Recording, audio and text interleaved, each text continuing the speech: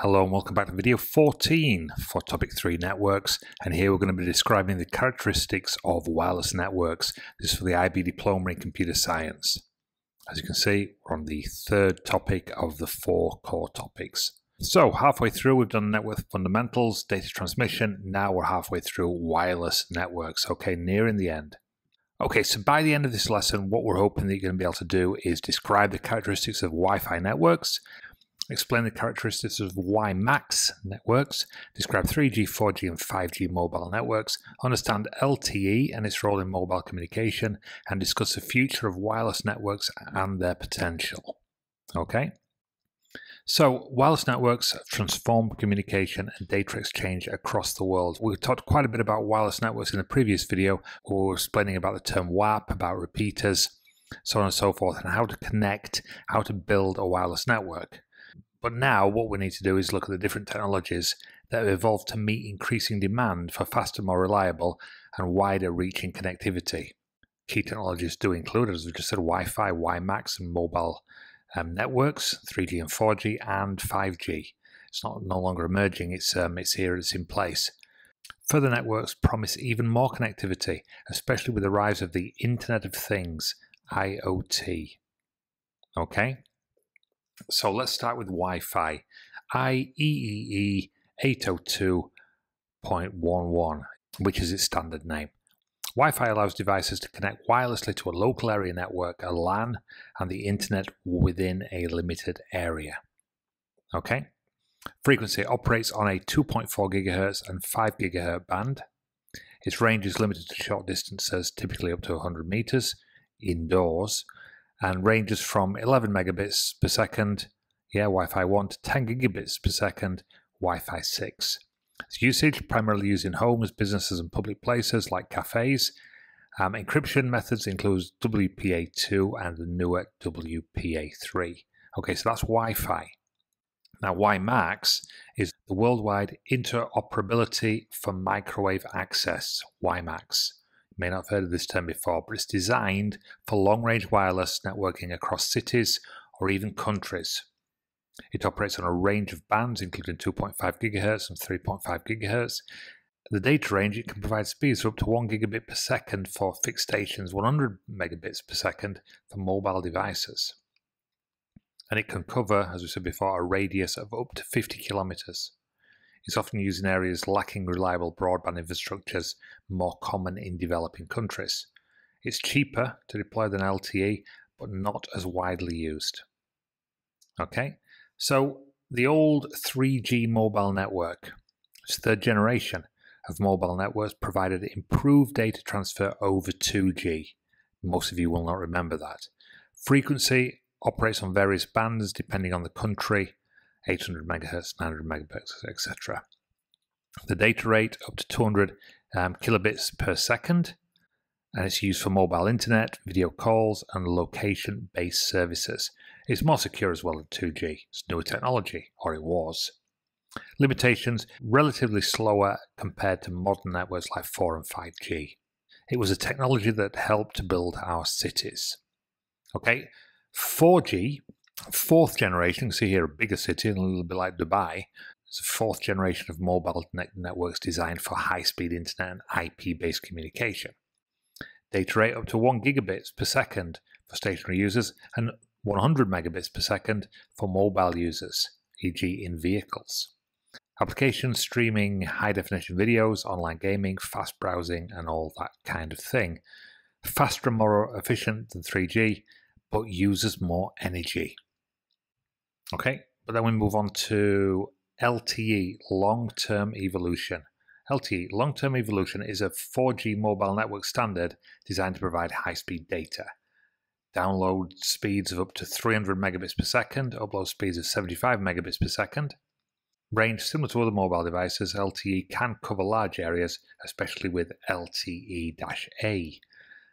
Advantages it supports seamless communication for mobile devices um, it competes with WiMAX, but is more widely used, especially in urban areas.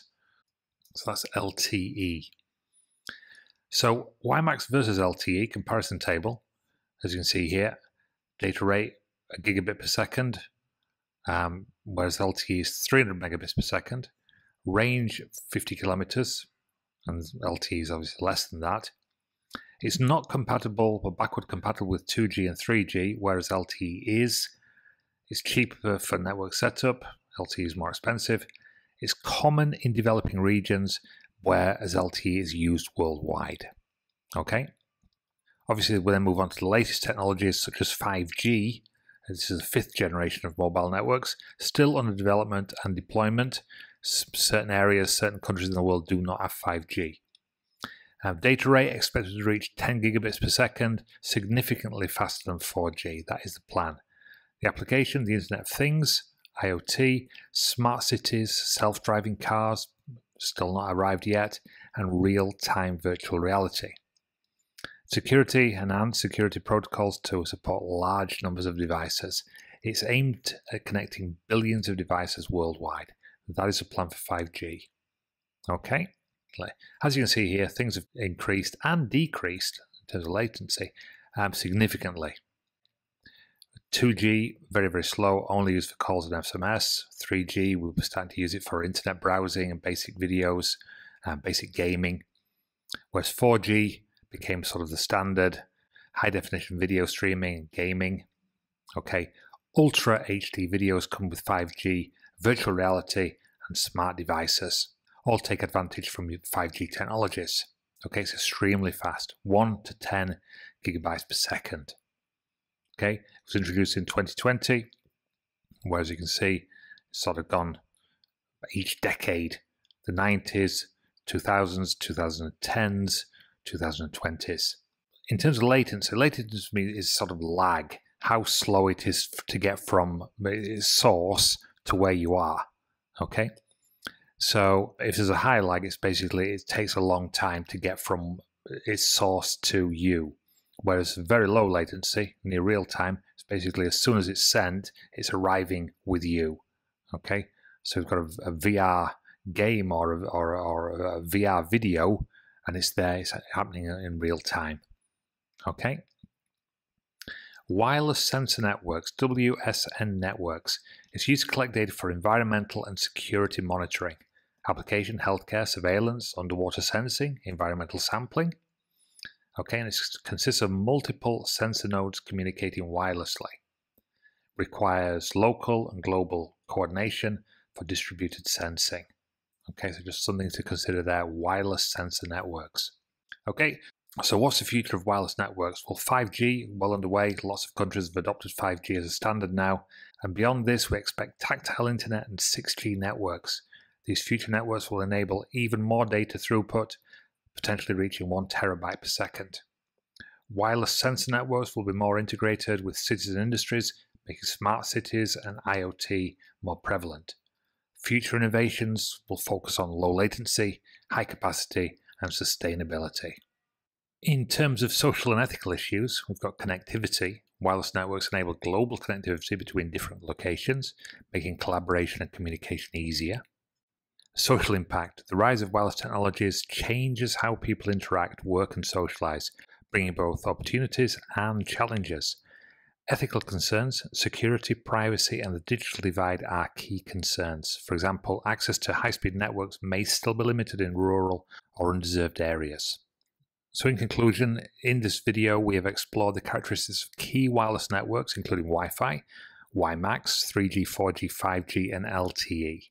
Wireless technologies continue to evolve, with each new generation offering faster, more reliable connectivity. Future networks like 5G and beyond will continue to reshape the way we communicate and interact with the world. Okay, watch this space, it's only going to get faster and faster. So, as always, I've got three questions.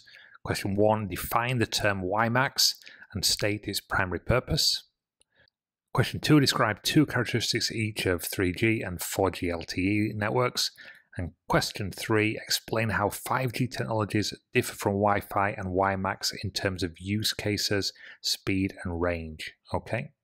If you want to have a little go at these yourself, pause the video. If not, we'll have a little look now.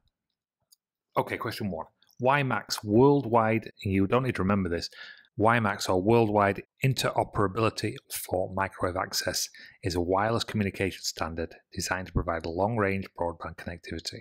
Okay, its primary purpose is to deliver high speed internet access over large areas, often as an alternative to wide connections like DSL or cable. Okay, two characteristics for 3G and for 4G We've got 3G supports mobile internet access, video calls, and mobile TV with speeds up to 200 uh, kilobits per second. It's more secure compared with earlier generations with widespread use in telephony and GPS services. 3G, though, in most developed areas, is you'd, you'd consider it to be obsolete, whereas 4G the LTE offers much higher speeds, certainly than 3G, up to 100 megabits per second for high mobility devices and 1 gigabits for low mobility devices fully IP based, focused on mobile broadband access and not supporting traditional circuit switched services like voice calls. Okay, and finally, uh, question three, six marks, we've got to explain what 5G is. Designed for ultra fast speeds up to 10 gigabytes per second, low latency, and massive connectivity, supporting future technologies like um, IoT, smart cities, and autonomous vehicles. Works very works over vast areas, ideal for connecting a large number of devices with real-time data transmission needs. Okay, Wi-Fi, this is um, short-range wireless networking, wireless networking technology, and it's designed for local area networks, LANs, typically offering high-speed data transfer between a building or specific area, primarily used for indoor wireless internet access. And then finally, we've got WiMAX, which offers long-range wireless broadband over large geographical areas, we said around 50 kilometers, and providing connectivity to users without access to wired networks, especially in remote regions. Speeds are lower compared with 5G, but serve as an alternative for fixed broadband services. Okay, that is it for this video. Thank you very, very much indeed for watching, and I will see you next time for video 15. Until then, bye for now. Please continue to ask questions, leave your comments, hit notifications, and please subscribe. And finally, if you wish to buy me a coffee, I'd be truly grateful. Please visit buymeacoffee.com forward slash learning zone. Thank you very much indeed. See you next time. Bye for now.